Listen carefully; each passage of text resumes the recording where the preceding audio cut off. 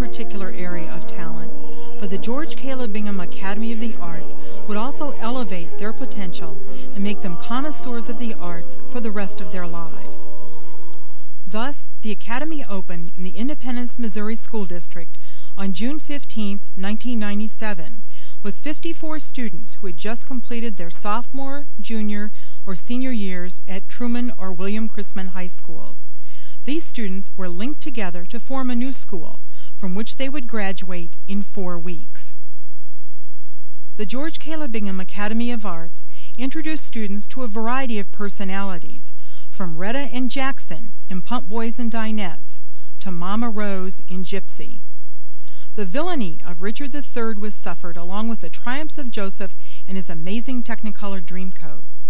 Students felt the rage of Levee and Toledo in Ma Rainey's Black Bottom, and they heard the beauty of music and level of talent and accomplishment of the Academy's music faculty in a recital. Students learned from a Pulitzer Prize winning author and a well known actor. They saw poetry spring to life in Poetry Alive. They saw the works of Seurat, Wood, Hopper, Van Gogh, Renoir, and Monet in Chicago. The scholars made puppets, played Dixieland jazz, and learned to play classical guitar. They had an ice cream social at George Caleb Bingham's home and visited his grave. Some took field trips to see how string instruments and organs are made. Others visited art museums, a bookstore, or drew flowers at Powell Gardens. They tasted the arts in Kansas City and caught a glimpse of them in Chicago. It was four weeks in fine arts fast forward, but with experiences to last forever.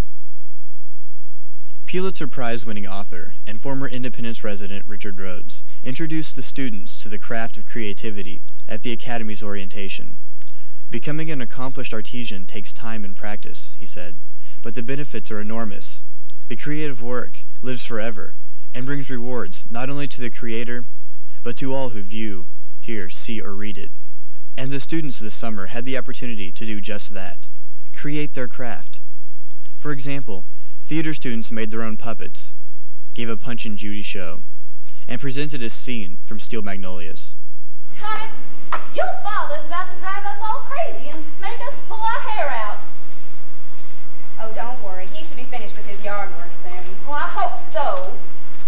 Well, you're not the only one concerned. My mama's about to throw a fit. She and Daddy are fighting like cats and dogs. They're just anxious with so much going on. No, they're not.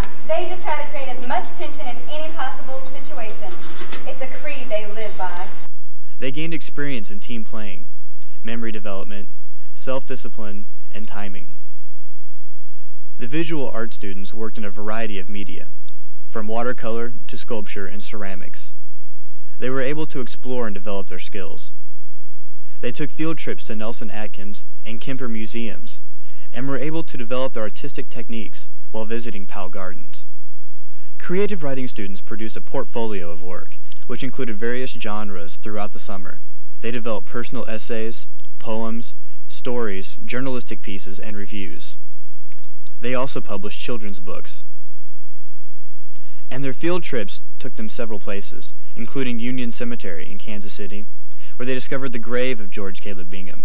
They brought back rubbings and a little history of the area. Creative writing and theater students combined talents to participate in a Poetry Alive presentation. Students could concentrate on vocal or instrumental music in a multifaceted music curriculum taught by professional performers. Solo study was included, but all music students sang in the Academy Choir and they all learned to play classical guitar. Ensembles performed at the Academy Ice Cream Social for parents, friends, and school district personnel, at a fine arts festival held for the community, and at graduation. A Dixieland Jazz Band also entertained at several events.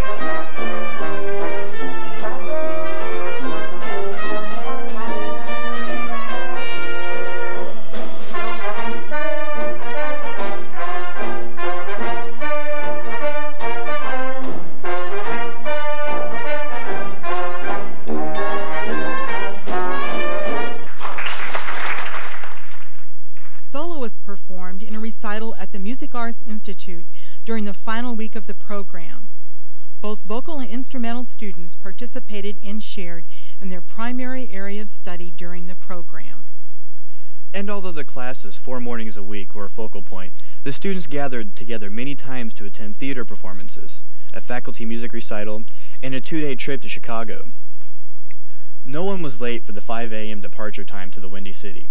For many, it was a first-time flying experience, and Southwest Airlines delivered the group to Midway Airport.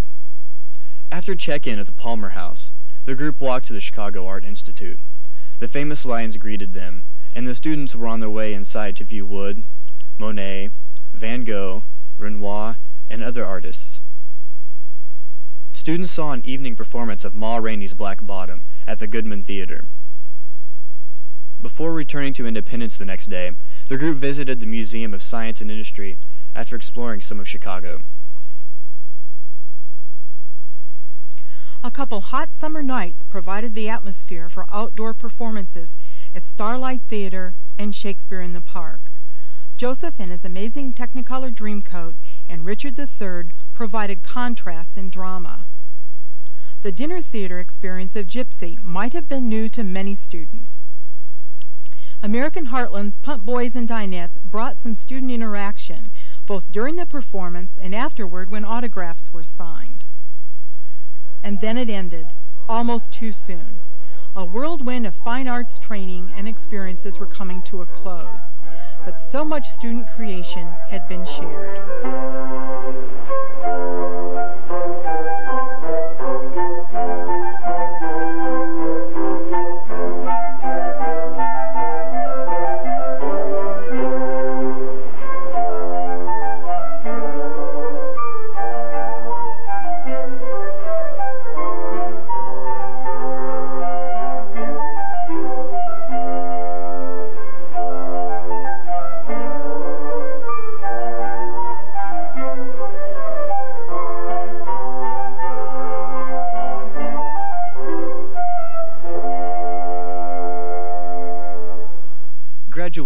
All that was left.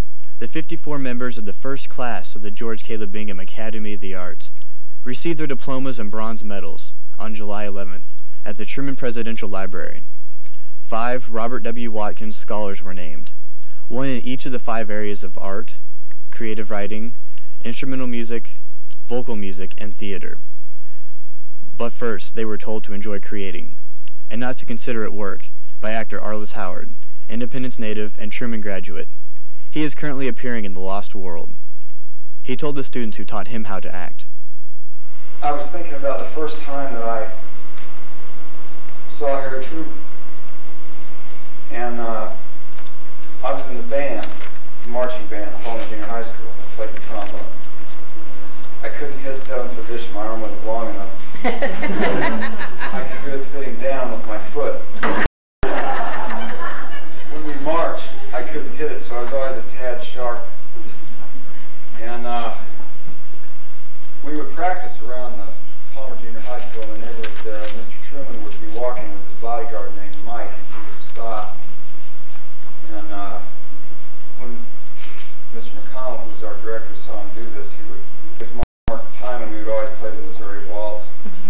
Mr. Truman would nod and smile and tap his foot, and then he'd move on. I later found out that he hated that song. So when people ask me how I learned to act, I say Harry Truman.